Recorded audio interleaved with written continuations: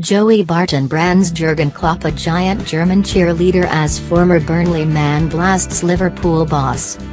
The German guided Borussia Dortmund to two Bundesliga titles and a Champions League final. Joey Barton has laid into Liverpool boss Jurgen Klopp, claiming the German is not a super coach. Former Burnley midfielder Barton, who is currently banned from playing football for betting offences, is not a fan of the ex-Borussia Dortmund manager. Klopp guided the German club to two Bundesliga titles and a Champions League final before helping the Reds finish in the top four last season.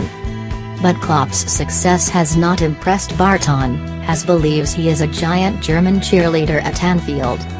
He is not trophy-laden like Mourinho or Guardiola, so we have to be skeptical of him, Barton told TalkSport. TalkSport.